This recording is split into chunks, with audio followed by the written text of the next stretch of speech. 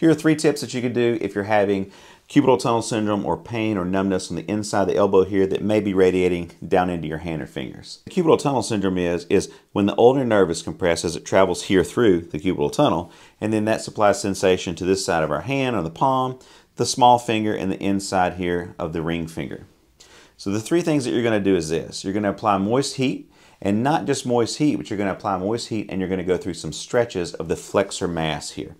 Now that ulnar nerve travels down through here, and a lot of times I just feel like with the flexor mass being tight, it just does better if we can get that to relax. So you're going to put a heating pad, you know, in and around this area. Now, of course, before you do any of these techniques, make sure that it's okay with your, you know, appropriate healthcare provider, physician, etc. But I'm going to put that heating pad on here, maybe 20, 30 minutes. And while I'm doing that, I'm going to take and kind of pull my wrist and fingers back like this.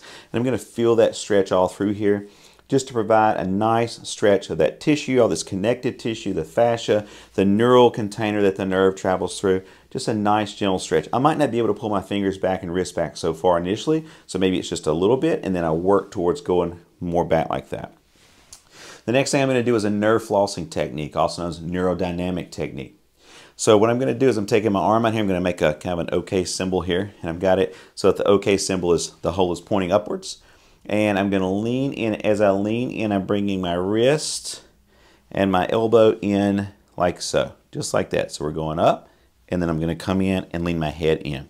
Now, if I want to apply more of a kind of a stretch on the, the nervous tissue, when I do that same movement, instead of bending my head towards my hand, my head is going to go away from my hand. So just like that. And I'm going to go back and forth. And then go back like that. And I might repeat that 10 to 15 times, several times a day. Lastly, the thing that I found that really helps out a lot, and I've suffered with this myself, so I know that it's very effective, or it was for me, is one of those cubital tunnel night splints. So it's a brace that's going to prevent your elbow from bending up like this. Because a lot of times at night we sleep with our arm under our head here, under the pillow. We keep this bent, and that keeps that tension on the nerve passing around the elbow here.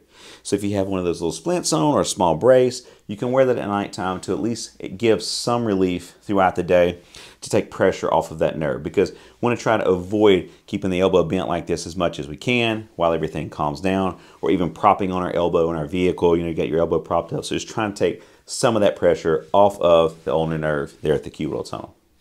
I hope these tips help, guys, and thanks so much for watching.